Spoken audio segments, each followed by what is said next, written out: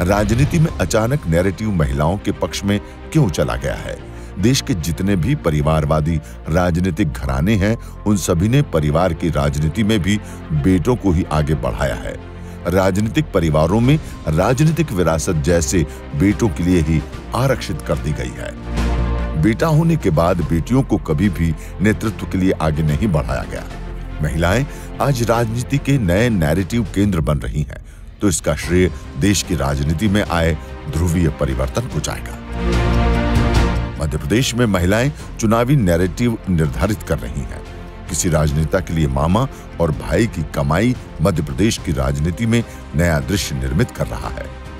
MP चुनाव में दो महीने से भी कम समय बचा है और चुनावी राजनीति महिला मतदाताओं के इर्द गिर्द घूम रही है। शिवराज सिंह चौहान के नेतृत्व में भाजपा सरकार ने महिलाओं को केंद्र में रखकर सारी योजनाओं को एक तरफ़ मोड़ दिया है।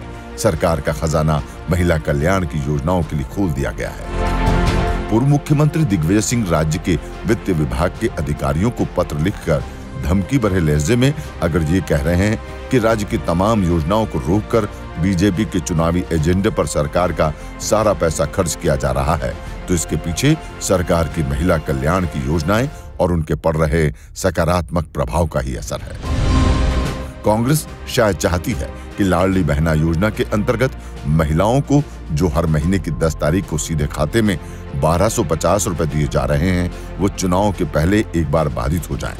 शायद इसलिए वित्त विभाग के अधिकारियों को कांग्रेस की सरकार आने पर जाँच का डर दिखाकर ये संदेश दिया जा रहा है कि चुनावी योजनाओं पर राशि का प्रबंध किसी भी तरह से रोका जाए। चुनाव की घोषणा के बाद आचार संहिता प्रभावशील होने के उपरांत भी पूर्व से चली आ रही लाडली बहना योजना की राशि बहनों के खाते में जाने से नहीं रोका जाए। इस पर राजनीतिक विवाद तय है। चुनाव आयोग को अंतिम फैसला लेना होगा। नारी शक्ति बंधन अधिनियम मध्य प्रदेश के होने वाले चुनाव में तो अमल में आना नामुमकिन है, लेकिन इसका असर ज़रूर चुनावी नतीजों को प्रभावित करेगा। मध्य प्रदेश में पहले से ही चुनाव नैरेटिव महिलाओं को केंद्र में रखकर ही गढ़ा गया है। महिलाओं के कल्याण पर बुनी गई राजनीतिक जमावट में नारी शक्ति वंदन अधिनियम अधिसूचित होने पर महिलाओं की सक्रियता से चुनाव नतीजे प्रभावित ज़रूर होंगे।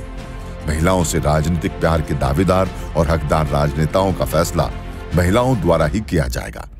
महिला आरक्षण का विरोध करने की हिम्मत कोई भी राजनीतिक दल नहीं जुटा सकता। एमपी में तो पहले से ही ऐसा लग रहा है कि अगली सरकार का फैसला राज्य की महिला मतदाता ही करेंगी।